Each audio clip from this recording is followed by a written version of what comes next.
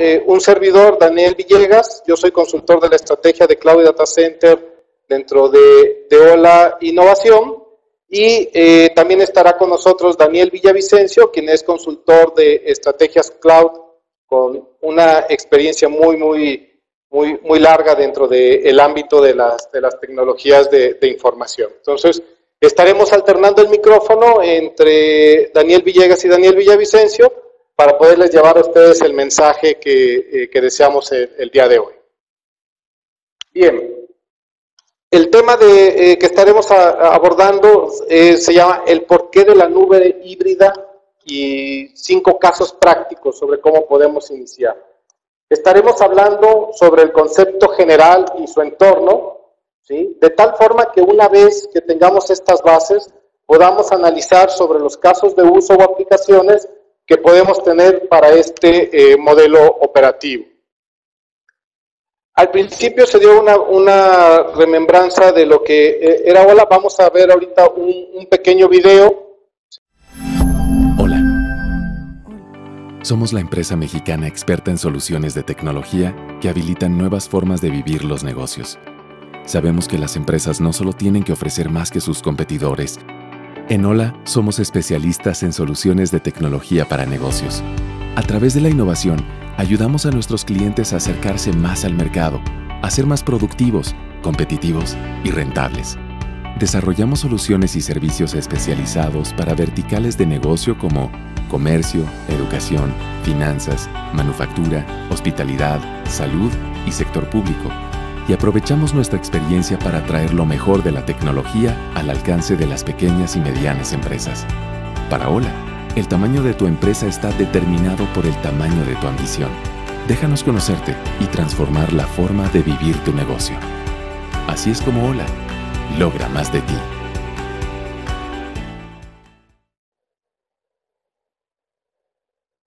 Bien, eh, complementando eh, la información que, se, escuchamos ahorita en el video, Hola es una empresa que ofrece soluciones globales. Tenemos un poquito más de 25 años de experiencia ofreciendo soluciones de infraestructura, de red y servicios administrados de, de TI. Nuestro portafolio de servicio lo podemos agrupar en estos cuatro grandes grupos que estamos viendo ahorita en pantalla y va desde lo que es la asesoría y consultoría tecnológica, soluciones de TI, soluciones de negocio y servicio de, telecomunicaciones. En resumen, podemos decir somos especialistas en soluciones de atención y servicio al cliente, comunicaciones, cómputo, que puede darse tanto en sitio o, lo que podemos llamar on-premise y, y todos aquellos modelos o servicios este, basados en la nube. ¿sí? Bien, entonces, eh, sin mayor preámbulo y habiendo dado esta presentación de, lo que es Hola como empresa, voy a ceder eh, el micrófono a Daniel Villavicencio para continuar ahora con el tema de, la nube híbrida. Eh, Daniel.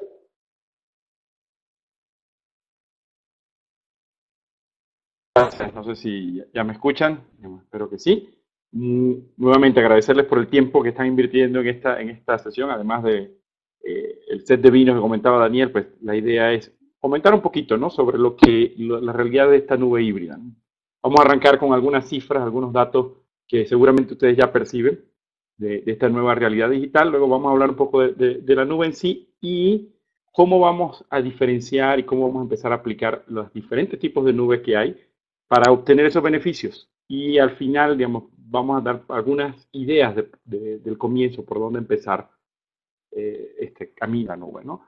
Primero algunas cifras. Eh, arrancamos con algunos de los datos que están por acá. Garner dice que los dispositivos eh, conectados van a subir una enorme cantidad para el 2020. IDC dice que la cantidad de datos que se van a generar se va a ir duplicando de aquí al 2020. lo otro que hablan es que el 40% de los datos en el mundo ya están en cómputo o estarán en cómputo en la nube para el 2020. Pero más allá de eso, lo que dice la, la parte laboral es que para el 2040, para el 2020, perdón, el 40% de los empleados de nuestras empresas van a ser millennials. Y eso implica algunos cambios, algunas presiones en la forma en la que tradicionalmente los servicios se han venido brindando. Van a haber mayor demanda de esos servicios, vamos a hablar un poco de eso, y un poco también va a cambiar la forma de, cubrir esas demandas. Y lo más importante, el 25% según Accenture para el 2020 de la economía mundial será digital. Entonces, no es solamente una tendencia tecnológica, es una tendencia económica lo que estamos viendo acá. Eh, siguiendo un poco con, con, la agenda, lo primero es definir qué es la nube. ¿no? Eh, hay muchos conceptos, hay muchas definiciones.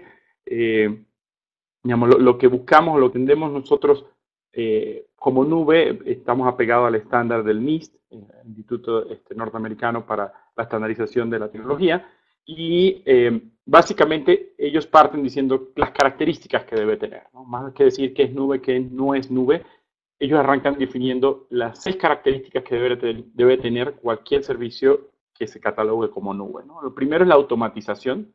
Lo siguiente en la automatización es no solamente tener a alguien humano esté haciendo una, una labor de, aprovisionamiento, de gestión, sino que esto sea automático. Es una de las características.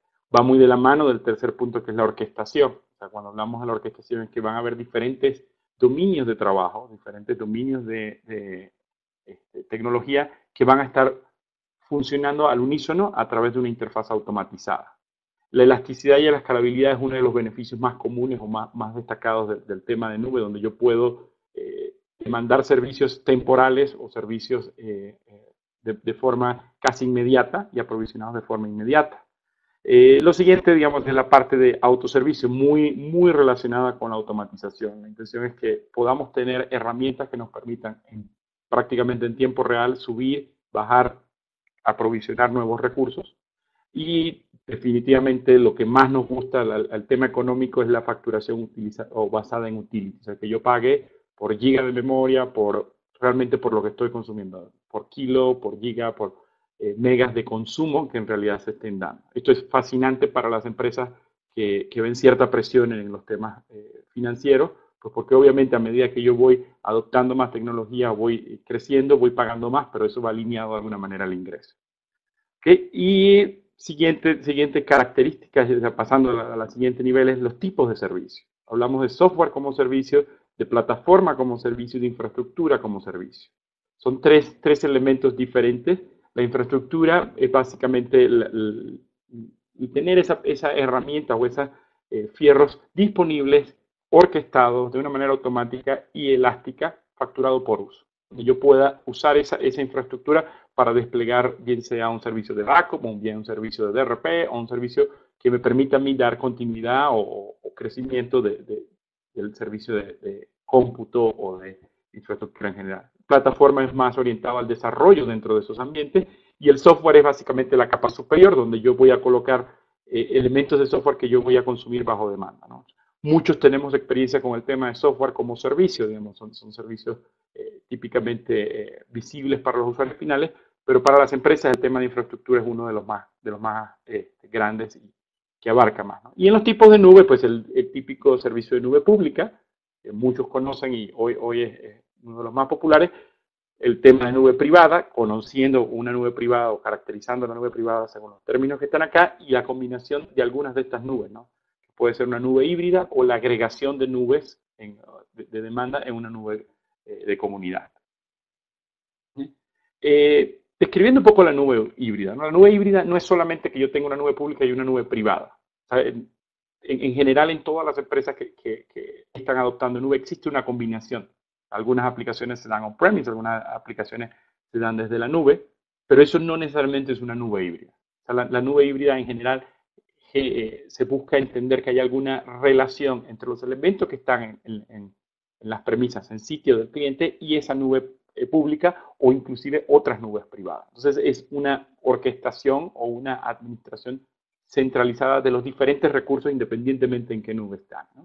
En general, digamos, se entrega de dos maneras. normalmente el ambiente híbrido incluye dos tipos de plataforma. Una que está en sitio, o puede estar fuera de sitio un hosting, pero que está, la característica principal es que está dedicada exclusivamente para cierta área de la empresa. La siguiente es la, nube pública o la nube privada, donde realmente esos recursos se comparten entre diferentes eh, entes o diferentes empresas. Entonces, siempre encontramos esta, esta eh, relación, siempre hay elementos en sitio, ahorita vamos a caracterizar un poco qué debería ir en sitio, qué, qué son aplicaciones que no son eh, apropiadas para ir a la nube y algunas nubes o algunas aplicaciones que se van a ir llevando a la nube. Hablo de aplicaciones, pero esto digamos, puede ser infraestructura, puede ser plataforma, puede ser digamos, cualquiera de los servicios que describimos antes como servicios de nube. ¿no? Las cargas de, trabajo se distribuyen entre estos. Entonces yo puedo tener una carga de trabajo que sea mi aplicación crítica en un ambiente en, sitio o en un hosting, un colocation, desde ahí entregar el servicio principal. Sin embargo, tener un backup que va a estar en una nube pública o de repente tener mi DRP en una nube privada. Ese es el tipo de combinaciones. Pero para que esto se catalogue como una nube híbrida, ambos ambientes deben tener una coherencia, una coexistencia, para que podamos entender realmente y tener los beneficios que, de que hablamos hace un momento en cuanto a elasticidad. Diferenciando un poco lo que, lo que es una nube pública y una nube privada, la forma más sencilla de entenderlo es qué se entrega en sitio, qué se entrega fuera de sitio o en las premisas del proveedor. El modelo tradicional, yo tengo bloques o tengo un data center o tengo elementos de, cómputo, de infraestructura o de, soluciones dentro de mis premisas, el modelo tradicional que, hoy todavía sigue siendo el más usado, pero también empezamos a tener modelos entregados en sitio de nube privada, donde los recursos ya no están eh, como un monolito, sino que son recursos que se distribuyen utilizando las características que vimos antes en cuanto a elasticidad, pago por uso, eh, dentro de, las premisas del cliente. Y moviéndonos un poquito más a la derecha empiezan los conceptos de, nube ya un poco virtuales o de nubes públicas. ¿no?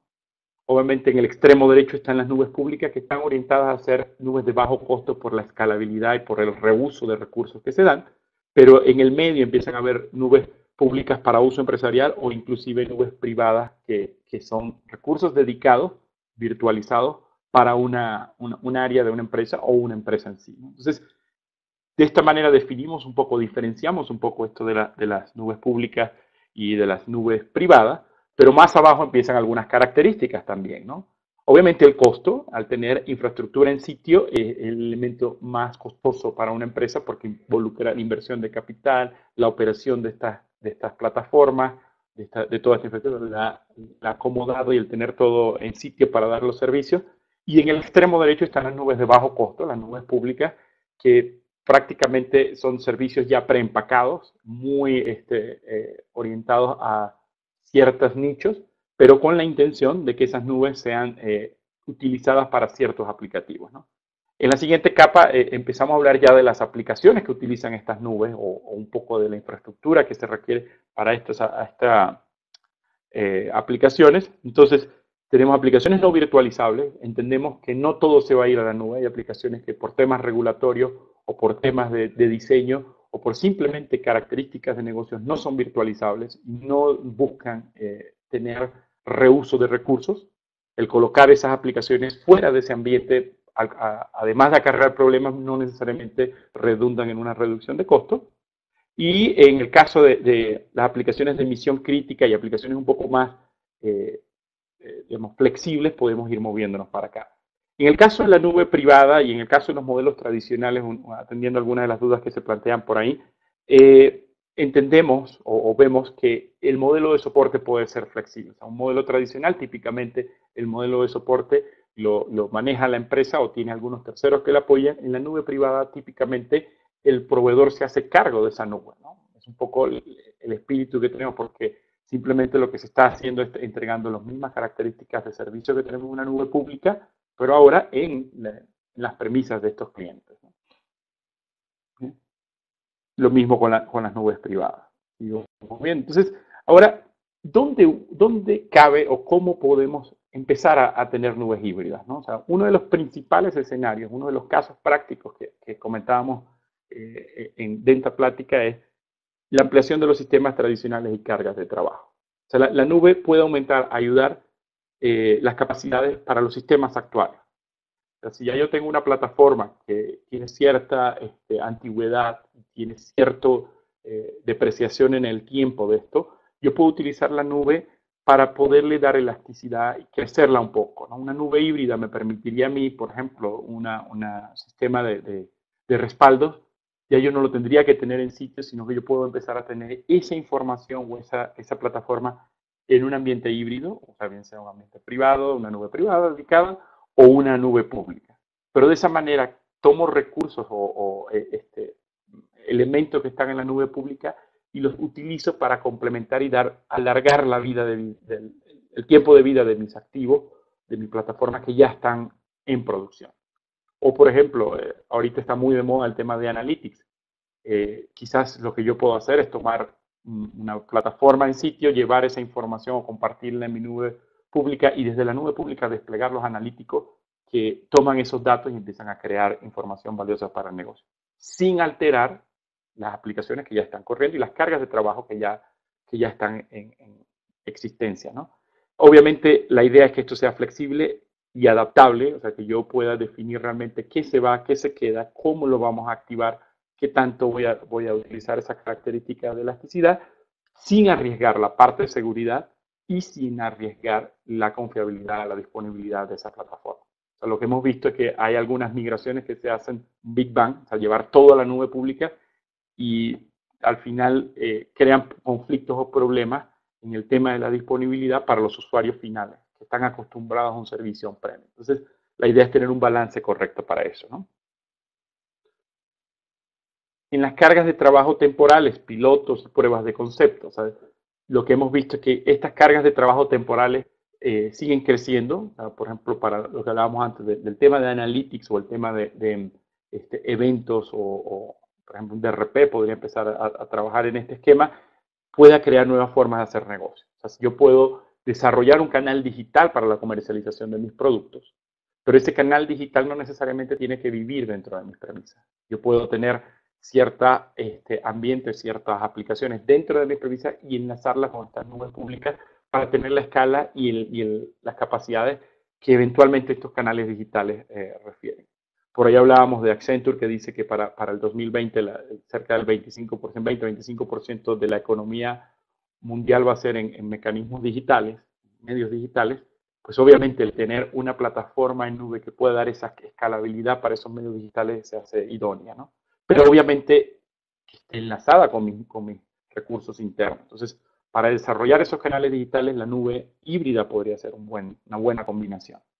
Obviamente poder dar velocidad y el hecho de que la nube es cada vez más accesible. Ya, ya la nube ya no es un mito, es una realidad y que cada vez hay características mucho más convenientes dentro de esas nubes. Ya no estamos hablando de que solamente estén eh, ellos eh, para hacer pruebas o para hacer laboratorios, sino que ya puedo empezar a tener características de desempeño, de este, latencia, que me permiten empezar a tener cada vez mejores eh, cargas y cada vez más grandes dentro de estos ambientes, a un costo muchísimo más accesible. Entonces eso lo hace ideal para escenarios de simulación, quizás en, algunos de los verticales hacer alguna de las este, análisis de, cierta información de cómputo muy intensivos, lo podemos hacer dentro de la nube. Un laboratorio o alguna prueba piloto lo podemos hacer en la nube y ya traer el resultado de ese análisis a nuestros ambientes privados.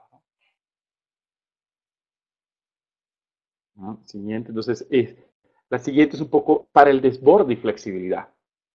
Eh, va atado un poco al, punto uno, pero la idea acá es que esos, esas aplicaciones o, esas eh, este, aplicaciones que hoy tenemos viviendo dentro del data center cada vez tienen que llegar más lejos. cada vez tenemos oficinas más pequeñas, al espacio de trabajo se ha, se ha hecho prácticamente, el home office se está volviendo una realidad.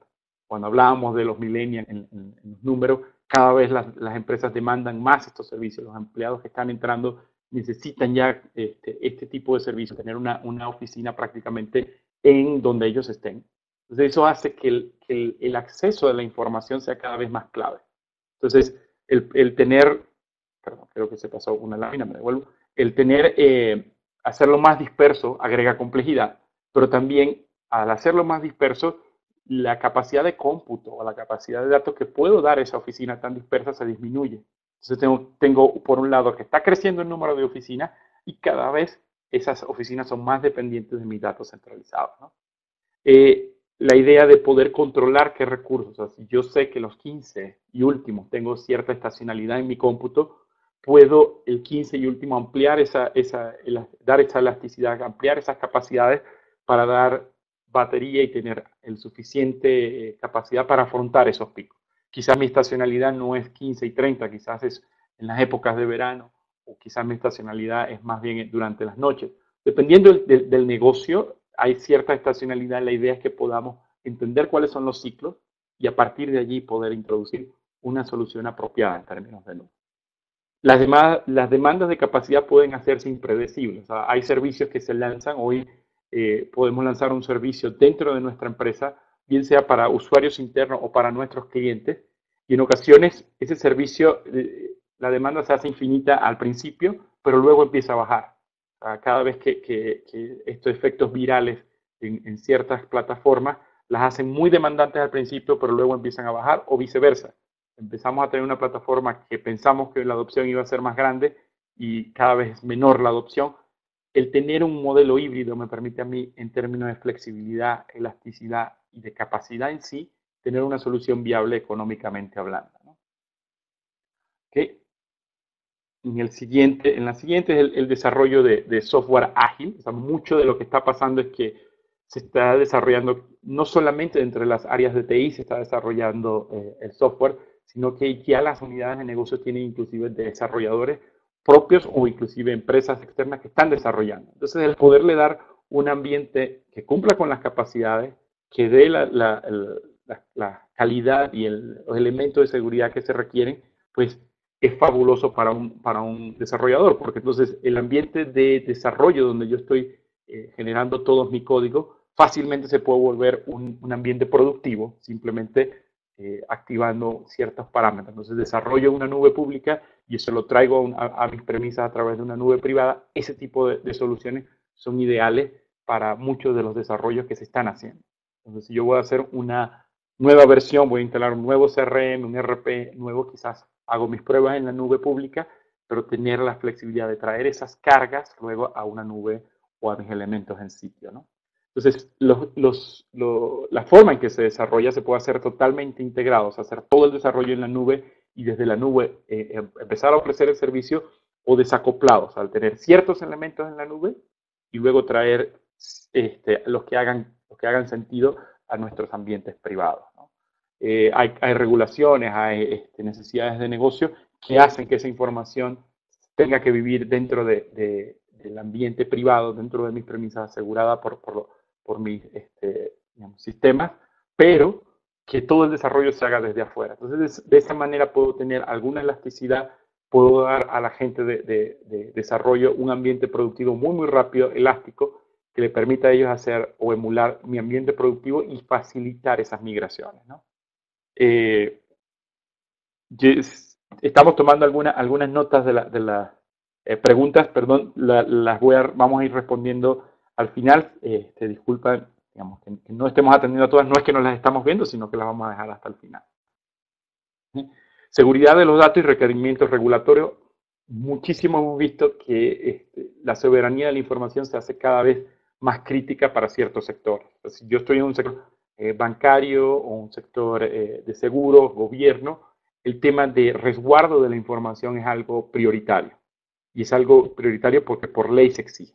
Entonces, el tener una nube híbrida que me permita desplegar dentro de las de la, eh, premisas del cliente o dentro de las premisas de mi data center cierta infraestructura y que allí solamente se, se, computen los datos, me permite a mí garantizar, por un lado, el cumplimiento de la regulación, pero también el tener esa elasticidad en sitio o tener esa, esa capacidad de poder afrontar las demandas que se están dando. O otro escenario, digamos, donde yo puedo tener quizás por, por temas regulatorios se solicita un, un SAI alterno o tener información resguardada por 10 años. cada, cada, empresa tiene cierto este, ámbito regulatorio por políticas internas. Puedo aprovechar el tener una nube, una nube pública integrada con mi ambiente en sitio para, por ejemplo, desbordar allí todo lo que sea el, el archive o los archivos históricos para cumplir con esa regulación. Tener un archivo de 10 años o tener algunos datos resguardados por, eh, auditoría. ¿no? Una nube privada puede hacer, por un lado, el, el, respaldo en sitio, pero al estar enlazada con estos elementos públicos fuera, puede constituirse en una muy buena alternativa de solución. Estos, digamos, en general son los cinco casos que hemos visto principales para el uso de una nube híbrida. Hay muchos otros detonantes por cada una de las verticales, pero en general eh, eh, hemos visto que estos cinco son herramientas o, soluciones que se están dando para poder tener el, beneficio de la nube y además tener alguna control o, alguna estructura para poder aprovecharla. Entonces, ¿cuáles son los beneficios en general? Uno, son, en, general, son tres. Uno, los costos. Como decía antes, muy dependiente de la, aplicación, pero en general para, los, para las empresas que tienen ciertas restricciones de capital o que están buscando eficientar el uso de su capital, son menos activos. Al ser menos activos hay menos depreciación, menos CAPEX, menos este, proyectos de inversión, puedo desocupar efectivo para poderlo implementar en otras cosas más estratégicas para el negocio. El pago por uso garantiza que ya yo no tengo que tener una capacidad eh, estimada para los próximos cinco años, sino que yo puedo estar haciendo planeación en el incremento o decremento de mi capacidad de forma casi instantánea. O sea, en el momento que yo necesite más recursos, puedo empezar a solicitarlo en estos modelos híbridos de la nube pública y de esa manera afrontar esas demandas que, no estaban previstas y definitivamente reducir el costo total. La capacidad elástica y bajo demanda va muy relacionada, o sea, yo puedo tener prácticamente una escala infinita en las nubes públicas y aprovechar esas economías de escala. O sea, al compartir yo recursos con una base grande de clientes, puedo yo tener economías de escala. Obviamente, en el tema de, de, este, económico es muy atractivo, en el tema tecnológico hay que tener algunas eh, restricciones, ¿no? Y los plazos de rentabilización, o sea, yo no tengo que esperar un proyecto a que, tres o cuatro años se cumpla mi ROI para empezar a ver un, flujo positivo, sino que yo puedo aprovechar, desplegarlo en la nube pública, empezar a pagar por uso y a medida que se incremente mi ingreso, incrementar las capacidades, ¿no? En cuanto a, la optimización de riesgo, la continuidad del negocio, o sea, el, tener un ambiente que está fuera de mis premisas, que no tiene el costo de tener duplicados mis data centers, es, un, es un, beneficio económico importante. Hay empresas que, como decía antes, tienen esto dentro de una regulación.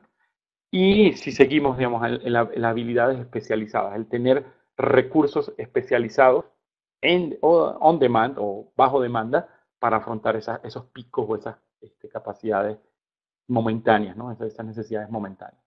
Y la agilidad estratégica. O sea, el time to market de un servidor en la nube o de un servicio de nube típicamente eh, eh, es más rápido que uno on-premise, no solo por, por eh, la naturaleza en sí de, la nube, sino también por toda esta capa de automatización y orquestación que veíamos antes, que ya el construirlo en sitio puede generar retrasos, el aprovechar lo que existe pueda generar más bien una, un aumento en, la agilidad. La innovación, digamos, eh, es uno, uno de, las cosas importantes. Puedo empezar a tener pruebas, ambientes, aplicaciones que quizás en un ambiente eh, productivo no podría justificar un proyecto, pero sí, sí puedo empezar a tener este, capacidades elásticas o capacidades para hacer pruebas mucho más eficientemente. Puedo aprovechar los recursos que ya tengo la idea aquí no es tirar a la basura los data centers que están construidos, sino aprovecharlos al máximo y poderlos, eh, por un lado, extender su vida útil y por otro lado, darle ciertas capacidades que quizás hoy no tienen. En la parte de, adaptabilidad y flexibilidad, obviamente es uno de, las mayores premisas que hoy nos exigen los negocios, el poder si esto no está dando, queremos pasar al, plan B, pero quiero hacerlo de manera inmediata, o si esto está dando muchísimo, quiero ampliar la capacidad de manera instantánea allí porque esta campaña ha sido muy exitosa o porque tengo eh, este canal digital ha sido muy bueno. Esa adaptabilidad y flexibilidad es, estratégico, es bastante eh, útil para ciertas empresas, sobre todo que están desarrollando o innovando también. Pero ahora todo esto presenta retos no, todo es, color eh, rosa. Según esta encuesta de Almiter, lo que, lo que mayormente eh, inhibe en las empresas la transformación digital, el modelo de, nube y todo lo que a nivel digital esto implica, es la cultura empresarial. por lejos es, es uno de los factores que mayor resistencia generan en las empresas. el cambio de la cultura empresarial los procesos establecidos. Y aquí, digamos, se presenta como una, este, un inhibidor, pero también puede ser un reto para las empresas que, que, están realmente buscando nuevas maneras de rentabilizarse o formas más eficientes de usar sus recursos. El tener que cambiar cultura se puede hacer una, Se puede utilizar como una herramienta para no solamente cambiar la cultura de, la empresa, sino también el modelo de operación de esa empresa. Entonces, este es uno de los primeros retos y obviamente dentro de OLA la oferta de, nosotros no es solamente desarrollar infraestructura, sino también garantizar que esa, esas soluciones que estamos llevando puedan ser adoptadas y den los retornos que estamos esperando. El pensamiento más allá de una mentalidad de campaña, o sea, no, no, hable, esta transformación digital no es una ola no es una campaña y listo, se acabó. Es realmente una estrategia que hay que aprovechar. Es una, tendencia que cada vez se hace más grande y los más exitosos serán aquellos que puedan traducir esa, esa oportunidad en alguna estrategia que les permita capturar económicamente ingresos. Entonces, el verlo como una, como una, una campaña es algo muy común, pero que definitivamente no es algo que nosotros o, este, esta encuesta diga que es, estratégico. hay que verlo como algo estratégico. Porque si lo ves como un proyecto, pues obviamente los proyectos tienen un principio y un fin. Una vez alcanzada esa meta ya no hay más nada. Aquí es una, es una nueva iniciativa, una nueva forma de hacer negocio. La cooperación entre departamentos y silos, de, ahora las áreas de negocios están entrando en, negocios de IT, IT está hablando con finanzas, entonces esa cooperación se tiene que agilizar. Si no existe esa cooperación, difícilmente los modelos de nube eh, van a tener éxito, porque definitivamente todos están, viviendo la transformación. Desde las áreas de recursos humanos, marketing, ventas o inclusive las áreas de, de tecnologías propiamente se están transformando. Entonces, hay solapamientos, hay áreas grises, y definitivamente vemos eso como una oportunidad. Hay muchos otros inhibidores, el, tema de seguridad también sigue siendo algunas de las cosas importantes, pero creemos que para esta transformación digital, al menos estos, factores que están en la lista son los más relevantes. Silos de equipo se refiere a áreas que trabajan como autónomas. el, silo de, de equipos, de repente tenemos el área de IT que tiene algunas premisas de reducción de costos, pero tenemos un área de producción que lo que busca más bien es eficiencia en el modelo operativo que maneja. Ambas, áreas conviven en una empresa, pero si no están alineadas a nivel de objetivos, pues se van a comportar como silos. Entonces, la idea de esto es, tratar de romper esos silos de equipo y empezar a crear estrategias que sean cross o, a través de las diferentes áreas. ¿Por dónde empezar? Y, aquí es donde mucho hemos visto que las empresas o se adelantan mucho, o se retrasan mucho, porque no saben por dónde empezar. Lo primero que hay que definir realmente es qué significa un modelo híbrido para tu empresa. un modelo híbrido puede ser que para mí yo voy a operar todo el ambiente híbrido dentro de mi empresa, voy a tercerizar todo el ambiente híbrido de mi empresa o simplemente yo voy a, tener una combinación de ambos escenarios. Algunas cosas o en premise las voy a hacer yo o algunas cosas en public las voy a hacer yo, pero la intención es definir realmente qué, cómo es tu modelo híbrido.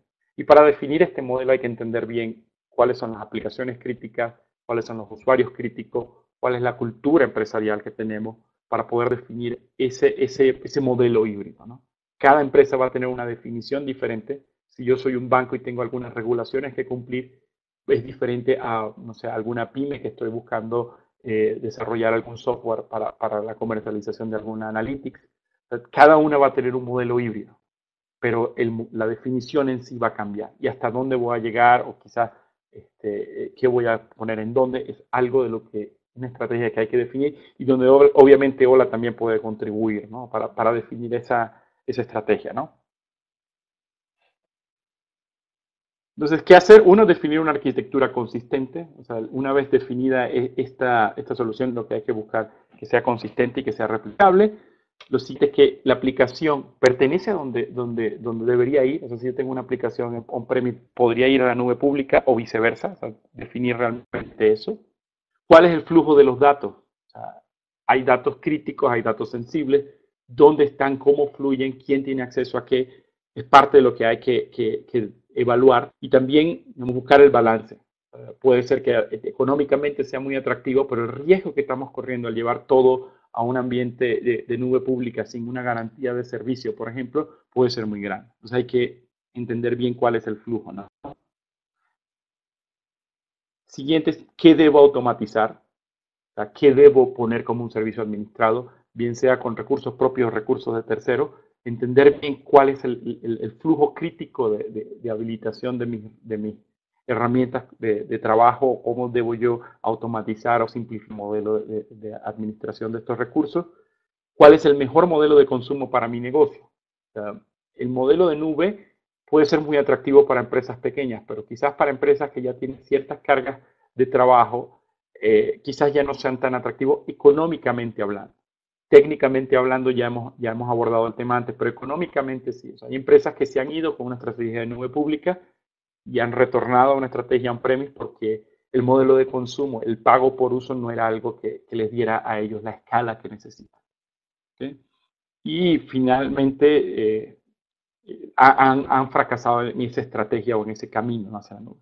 Lo siguiente optimizar los procesos de operación si nosotros adoptamos la nube pública con los procesos que hoy existen o adoptamos modelos de nube híbrida con los procesos que ya existen, probablemente vamos a topar con pared. Porque va a haber regulaciones, va a haber áreas de tecnología, va a haber áreas de finanzas que van a necesitar entender y evolucionar esto. Entonces, hay que optimizar esos modelos de operación, entender dónde realmente se necesita imprimir esa agilidad, dónde realmente se acoplan unas áreas con otras, ¿no? Y en el último punto es no dejar de ver la seguridad. Por ahí comentaban, ¿no? primero hay que definir cuál es el nuevo perímetro. O sea, saber dónde van a estar esta información, dónde van a estar los datos, si va a ser en tránsito, si van a vivir, si van a vivir, si se van a integrar. Hay que entender bien cuál es el nuevo perímetro que quiero proteger, porque el perímetro se ha vuelto realmente enorme, eh, desde, desde el ambiente interno hasta la nube pública, pero hay que empezar a definir cuáles son esas eslabones que yo quiero proteger, esas capas que quiero agregar para proteger las diferentes áreas donde va a vivir mi información, donde va a estar todo mi dato alojado y saber bien cuáles son los riesgos que estoy afrontando. mucha gente piensa que tener la, la, información en sitio es más seguro que tenerla en la nube, pero también hay que considerar que los mecanismos de protección de la información que está en sitio con los mecanismos de protección que están en, la nube pública pueden ser sofisticados a niveles diferentes. Entonces, el aclarar bien eso y cuáles son los riesgos que quiero asumir es importante. Y obviamente, eh, cuando hablamos de riesgo, el mayor riesgo es el humano. Esto va relacionado con el punto 6. O sea, al tener el típico eh, post-it pegado en la pantalla con el usuario y password o con la clave de, administrador de cierta plataforma, es uno de los errores más grandes. Entonces, el tema de seguridad es muchísimo más amplio que solamente definir el perímetro, arranca de allí, pero implica procesos, implica política, ¿no? Ya para cerrar es un poco la visión de esto. Esto lo dice Bill Gates. nosotros siempre sobreestimamos el cambio que ocurrirá en los próximos dos años y subestimamos los cambios que ocurrirán en los próximos diez. El mensaje o, la intención de esto es tenemos que empezar a tener, obviamente, actuar en corto plazo, o sea, tener una visión de corto plazo para actuar y, dar los resultados en corto plazo, pero no podemos perder de vista la visión a largo plazo los movimientos y los cambios que estamos haciendo hoy para incorporar estos modelos de nube híbrida no los podemos ver como un proyecto. No es un proyecto que termina el 14 en el, de, mayo del, año que viene. No, no funciona así. Son modelos que vienen para perdurar. Entonces tenemos que tener un pie muy firme y una, este, visión muy clara de cómo esto va a evolucionar en el tiempo. Porque si no, lo que va a pasar es que nos van a, ganar las prisas, nos va a ganar el, el corto plazo y se nos va a ir el, bote, ¿no? Como, lo, muestra la caricatura. Con esto, digamos, eh, ahorita pasamos a, la sesión de preguntas y respuestas. Daniel, si estás por allí, digamos, te cedo el micrófono. Sí, muchas gracias, eh, Daniel Villavicencio. Eh, sí, ya ahorita, bueno, estamos entrando en la, en la etapa final de, de, esta presentación.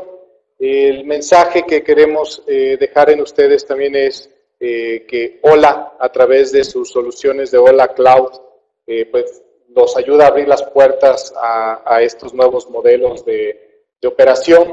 Eh, ponemos a, disposición temas de consultoría para la migración este, en la nube, cómo podemos integrar las distintas soluciones, hacer ese análisis de qué es lo que conviene que se quede en sitio, qué es lo que eh, nos conviene llevar hacia la nube, que es lo que me trae una, una mejor ventaja.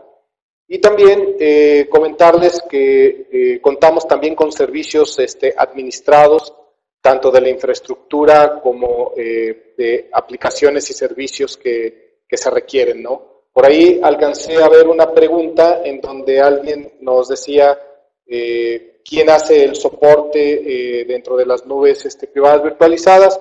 Bueno, la respuesta es eh, a través de OLA nosotros podemos tomar el control de todo lo que es la infraestructura, todo lo que, todos los elementos este, de TI que están contratando en la nube.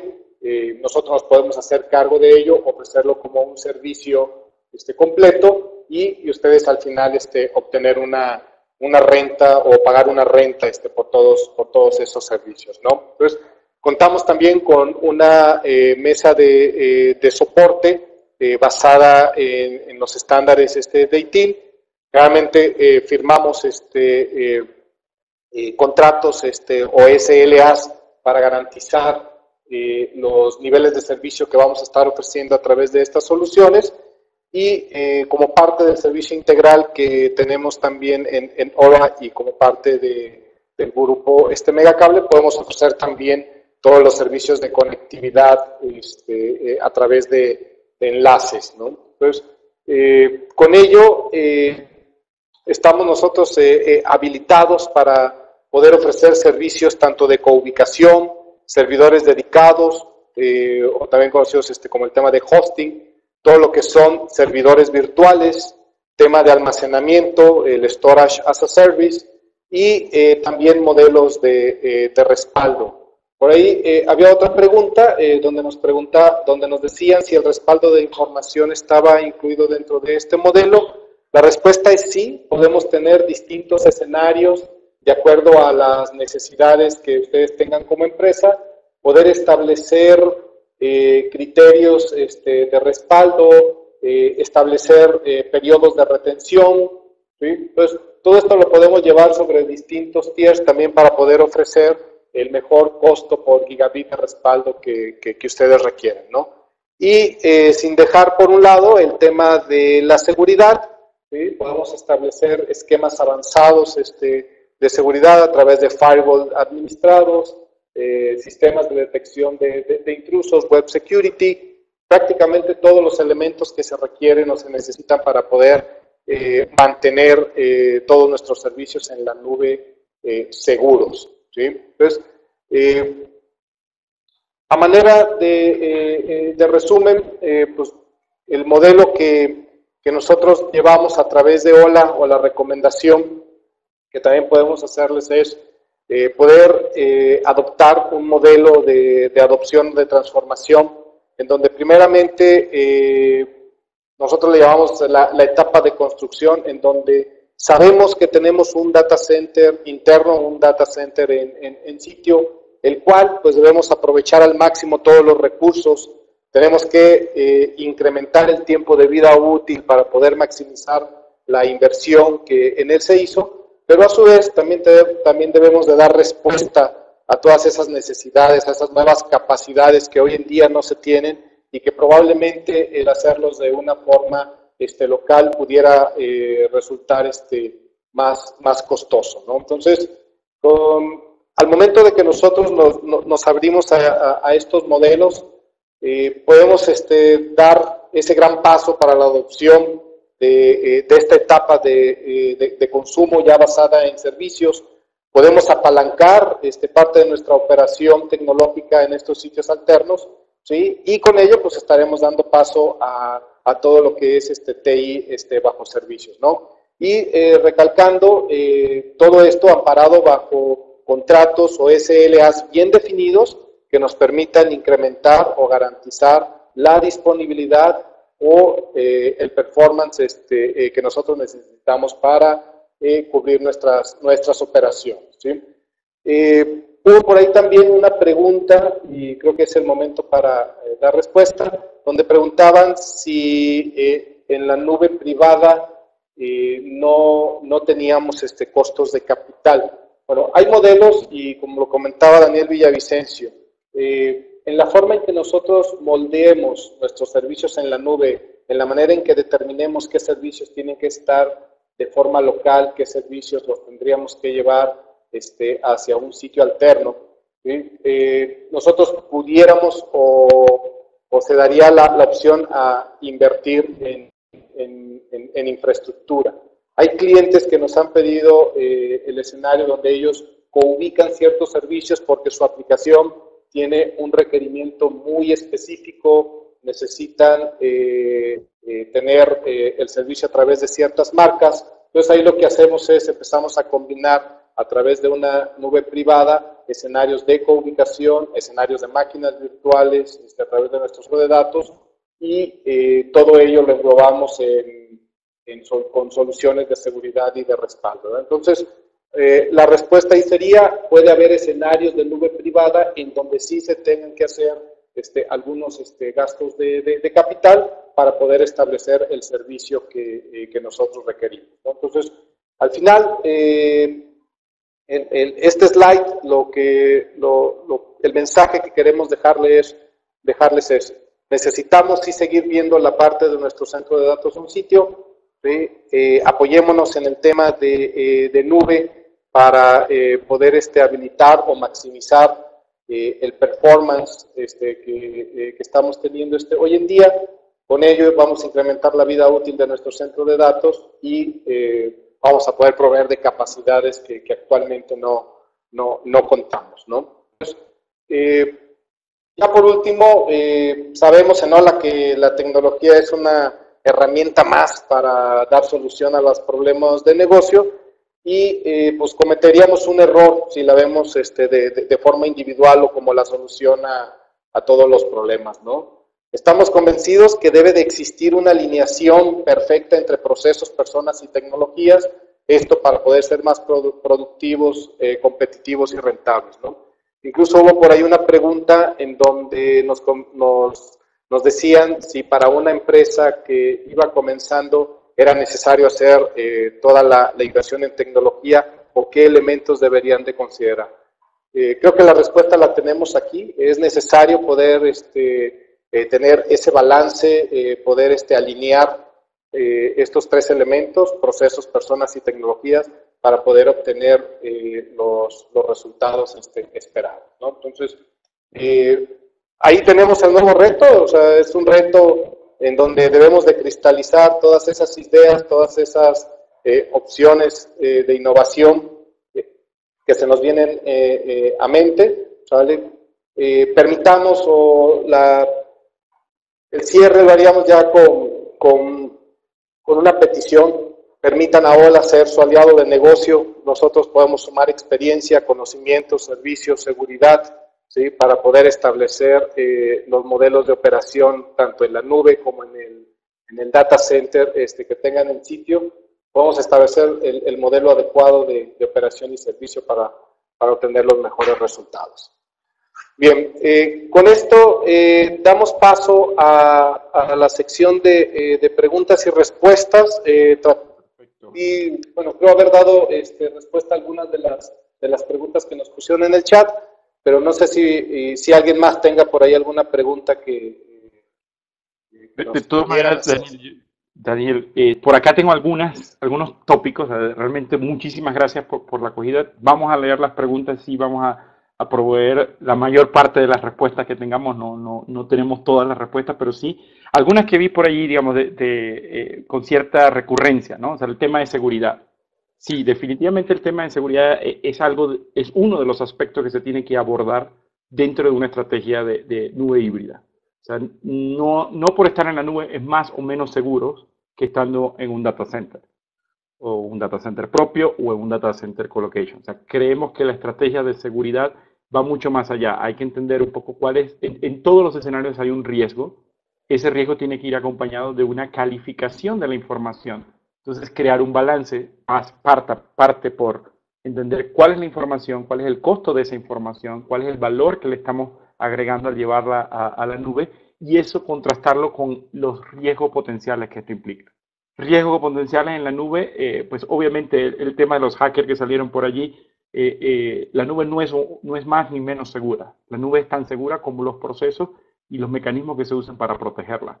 Y esos procesos y, este, herramientas, mecanismos para protegerla, eh, son similares a los que podamos establecer en, en sitio. ¿no? O sea, muchos de los ataques o las pérdidas de información que hoy se dan no vienen de gente que entró desde afuera de la empresa, es gente que entró desde adentro y tomó información de un data center que estaba expuesto. Pero obviamente al extender este perímetro es una de las cosas que hay que evaluar. Entonces sí, la respuesta es, es una forma diferente de abordar el tema de seguridad. Los perímetros se redefinen, los usuarios se redefinen, los ataques se redefinen, pero sí hay, es uno de los parámetros que hay que considerar en una estrategia de adopción de nube. Otro tema que hablaban por acá, digamos, dentro del proceso, muy similar al tema de seguridad. Una empresa nueva tiene la ventaja de que los procesos son un poco más flexibles. Una empresa establecida, quizás los procesos llevan alguna inercia. Pero en todos los escenarios, el, el tema de, la, de los procesos y de cómo abordar el tema político-cultural